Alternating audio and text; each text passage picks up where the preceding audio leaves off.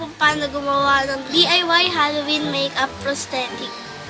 So, ang magiging model ko po ngayon ay wala na iba kundi ang aking kakambal. So, Kurt, ready ka na ba? Ready na ba po? ready ka na. Sige. Ready na.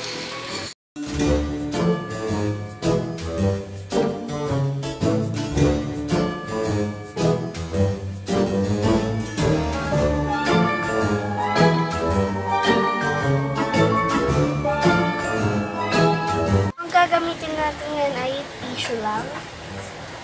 Cut natin siya sa gitna, tapos twist lang natin. Twist. So, maging ganyan siya. Tapos, lalagyan natin gluto. Tapos, ididikit natin to. Pero, susukatin nyo muna siya para kasing haba ng ilalagay nyo ito. So, ngayon, lalagyan na natin yung mismong pattern. Ingat kayo, baka palagyan ng glue yung mata ng model nyo.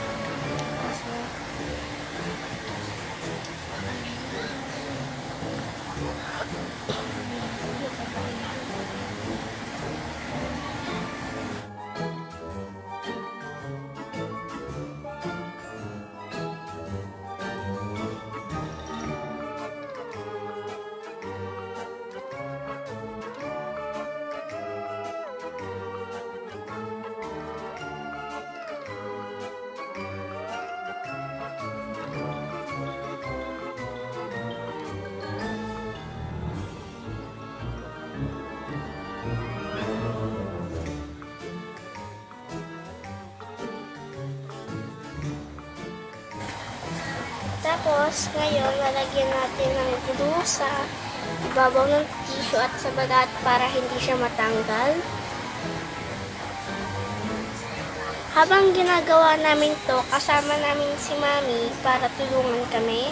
Natuyo na yung glue sa mukha ni Kurt, yun naman lalagyan na natin siya ng concealer.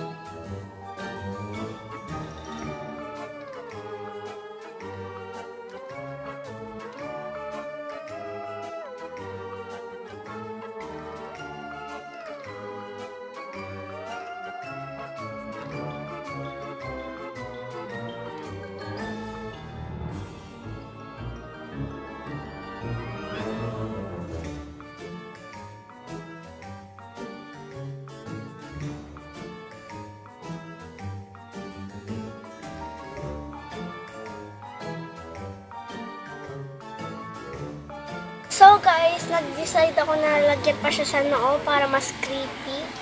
So ngayon, yung noo naman ang lalagyan natin ng foundation. Guys, pareho na natin nalagyan ng concealer. Ngayon naman ay papatuyuin na lang natin. Then next, lalagyan na natin siya ng fake blood. So ngayon, lalagyan natin siya ng baby powder para mamaya mas tikit yung blood.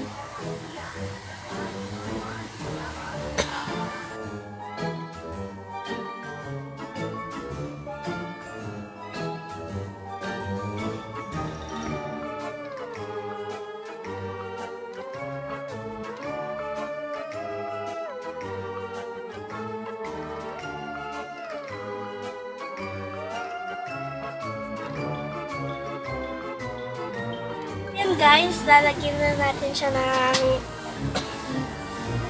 ng fake blood.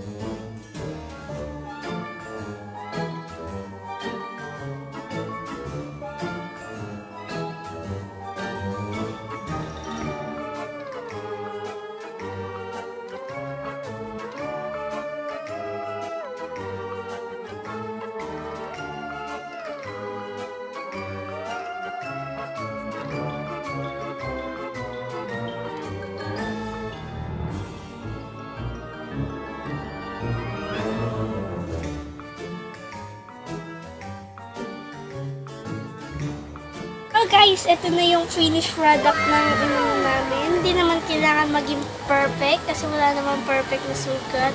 Char! So, yan. Ito yung pangalawa kong ginawa. Ito yung una. Malapit na yung Halloween. Tamang-tama. Pwede nyo itong gawin. Yan. Pwede kayo mag-celebrate ng Halloween kahit nasa bahay lang kayo. Kayong magkapatid, pwede nyo rin itong gawin. So, thank you guys for watching. Sana may natutunan uling bago. And kung di ka pa nakaka-subscribe, mag-subscribe ka na. Like, click the notification bell para lagi kayong updated sa mga ipopost ng video. Hanggang dito na lang. Happy Halloween!